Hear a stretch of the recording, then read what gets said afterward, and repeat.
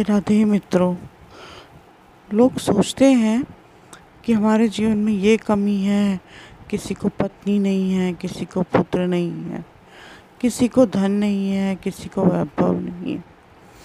किसी को यश की कमी है, लेकिन क्यों है ऐसा? तो हर कोई उस चीज़ के प्रति दुख प्रव्यक्त करता है। ये नहीं मिला होता, वैसे मिल जाता उसको मिल गया है तो हमको भी मिल जाता। हम भी आनंद भोग लेते, वो कितना सुखी है। ऐसी ही बातें मन में चलती हैं ना। लेकिन होता क्या है कि आपके मन में ये संतोष होना चाहिए कि जिसके पास जो है, वो विधाता का दिया हुआ है और जो नहीं है तो वो भी ईश्वर का दिया हुआ है।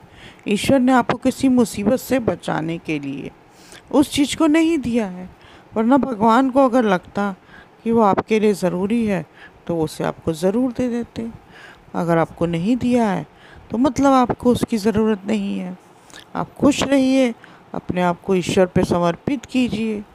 ईश्वर के जिस स्वरूप की आराधना करते हैं, उसमें समर्पित कीजिए।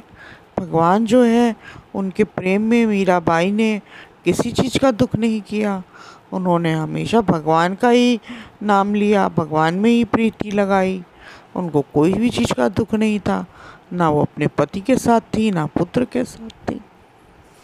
वैसे ही जिनके बेटा नहीं होता है, उनको बहुत दुख होता है इस बात का। जबकि उस दुख का कोई कारण नहीं है। अच्छा है, बेटा नहीं है, इसी बहाने चिक चिक नहीं होगी, वरना कल बहू आएगी, फिर बच्चे आएँगे छोटे, घर में शोर मचाएँगे, आपको पूजा आराधना का समय नहीं देंगे। फिर कभी चिक चिक भी होगी घर में। भगवान ने आपको सबसे बचा लिया।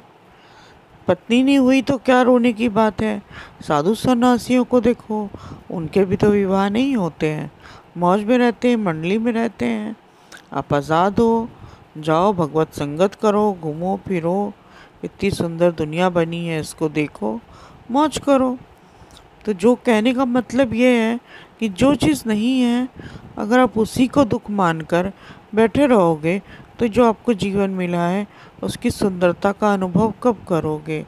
क्योंकि आपकी दृष्टि हमेशा उस चीज़ पर जाती है जो पास में नहीं होती। जैसे दीप की आदत है, कोई भी दांत में अगर कुछ खोट आ जाए, या दांत में दर्द हो, या दांत कुछ हो गया हो उसमें तो हमेशा जीव उसी दांत में जाएगी। चाहे एक सुपारी ही फंस गई हो, पर जाती तो उसी तरफ़ है, बाकी दांत उसको नज़र नहीं आते। उसी तरह मनुष्य की फितरत है कि जहाँ कमी होती है, उधर ही नज़र बार बार जाती है, और इससे आप जीवन का आनंद नहीं ले पाते हो। जबकि आपने जीना, जीवन लिया है, जीवन का आनंद लेने के लिए तो आपको आनंद लेना है।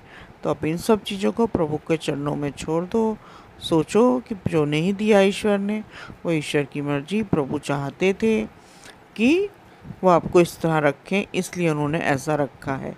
अगर आपके लिए वो चीज़ ज़रूरी होती तो वो अवश्य दे देते। इस सोच से आपको मन में सुख और शांति आएगा, संतोष भी मिलेगा और आपका मन भगवत भजन में लगेगा। जय श्री राधे राधे।